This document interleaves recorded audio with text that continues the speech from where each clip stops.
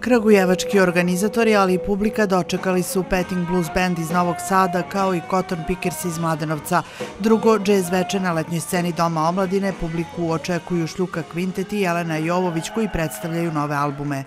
Ove godine što se tiče bluza, realno nema mnogo blues bendova u, Srbiji, tako da jedan recimo Cotton Pickersi su bili pre pet godina na festivalu već jednom, tako da zovemo ljude koji su u tom žanru, koji su blizu, tako, tako da što se tiče džeza, to su, ja mislim, nekako dva nova neka projekta koji tek treba da izađu i mislim da je dobro da se predstavi Klagojevačkoj publici pre nego što se predstavi čak i Beogradskoj, tako da je to jako dobra stvar.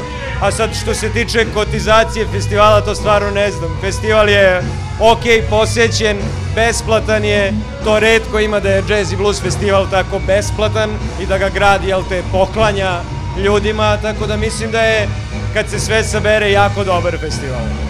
Pred publikom prošle godine na Šumadijskom blues i jazz festivalu nastupio je londonski umetnik Joshua Blue, zatim Diluna Blues Band, dok su i u godinama korone pred Krgujevčanima nastupali Highlandersi i mnogobrojni domaći i strani izvođači. I ove 2023. godine program festivala namenjen je predanoj publici naklonjenoj bluzu i džezu.